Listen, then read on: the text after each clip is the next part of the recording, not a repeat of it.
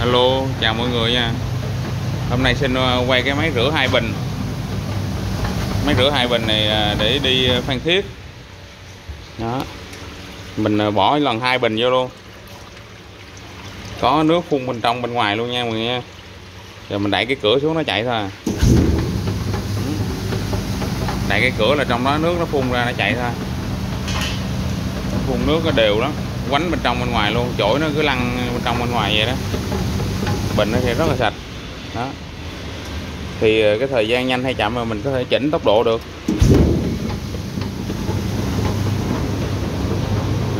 Mình, mình chỉnh được cái tốc độ. Quên mình chỉnh thời gian nhé. Chỉnh thời gian đây nè. Chỉnh cái thời gian là xong rồi. Trong này xài có một ờ, cái bơm inox là một motor motor kéo. Trước là có kiến meca nhìn thì cũng đẹp để mình quan sát được bên trong bên ngoài luôn.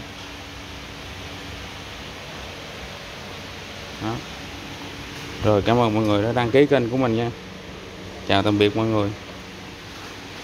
Đưa cái cây qua tới cái khoen đó là đẹp không? Ừ. cái con ngay khoan luôn á. Rồi cảm ơn mọi người đăng ký kênh của mình. Chào tạm biệt mọi người